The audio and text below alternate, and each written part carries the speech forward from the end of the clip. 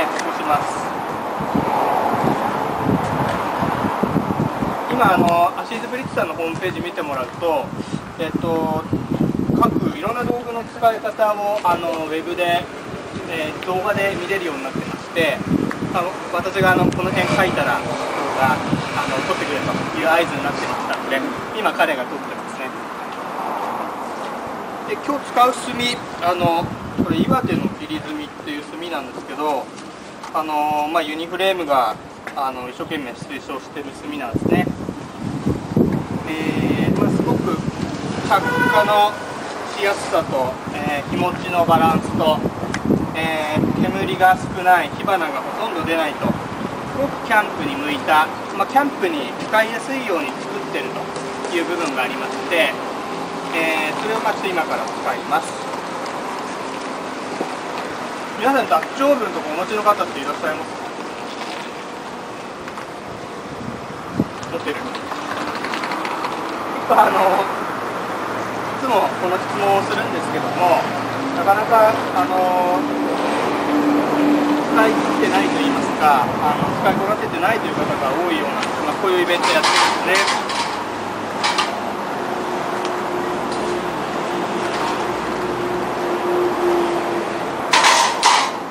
まあ、今炭これち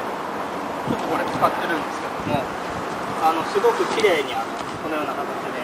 揃ってるんですね。あの中国産マレーシア産と違うのはですね真っ赤っかに燃焼してる時にトングで掴んだらこれ崩れないんですね。なのであのダッチオーブンをやる時にすごくあの火力調整がしやすくて粉々になら中村さんちょっと燃えてるか触ってみて。え今撮影中なんですけど。あそうですか。はいすいません。これでねあの、まあ、着火してる着火剤の上にこれをほとんど置いてしまいます。以上。であのーまあ、普通の炭なら10分もすれば、あのー真っ赤っかに燃えてきますのですぐにダッチオーブンの量でできると。いうのがこの着火ですね。で、えーまあ、今までも、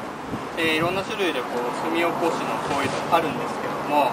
これがいいのはですねこの真ん中の部分から内側にこうパタンと折れますのであのかさばりませんというのが、えーあります。じゃあこれはあとちょっと10分ぐらいほっときまして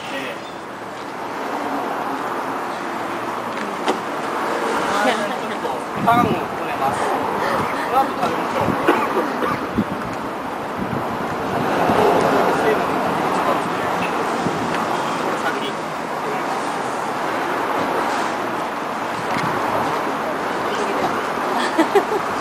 今あの手が真っ黒の炭なんですけどあの岩手の方は完全にあの自然の奈良を使っていてあの化石燃料とかそういったもの使ってないのでこれあの食べても無害なんですよね本当にあの結構とてもあの十分有効に体に害のないというようなまあ輸入物だとあの建築廃材混ざってたりとかそういうのがあの、まあ、データとしてもあるようですので、えー、僕おすすめですでちょっと、えー、今ト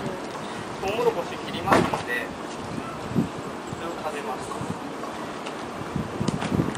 でこれユニフレームの商品なんですけども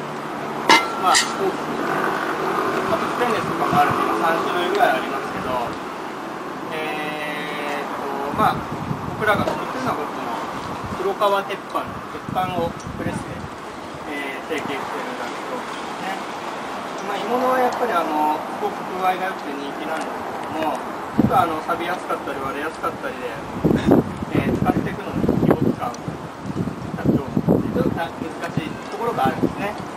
でそれをまあクリアして簡単にするのがこっちですね。あの干物は料理で使った油染み込ませて錆びにくくさせていくので、えー料理終わっても洗剤入れて洗っちゃいけないですね。特に新しいうちは。なんですけどあのこっちのはもう料理終わったら洗剤を流し込んでこすってもらってですぐ使うのはもう水分を取ってからいい系なんですねで当分まあ1ヶ月使わないっていう時はあの薄く油拭いたりはしますけどもあのまあすごく簡単に使える脱腸分ですということですね。で足がついてないんであの家のガスコンロでも使えるというのがメリットですね。はい。であのダッチオーブンってあのまあトウモロコシとかこれもこれか。これもビール入れてえー、醤油大さじ4みりん大さじ2、えー、あとはネギ生姜にんにくまあそれをちょっと入れて、えー、煮込むだけなんですね。要はあの全然難しい料理をするためのもんではなくて普段お鍋でやってる料理ダッチオーブンでやったらもっとうまくなる料理そういうようなものですよね。あの重たい蓋があってチリコが噛み合わってえー、旨味が逃げないと。で圧力かかって早くできるというような鍋ですね。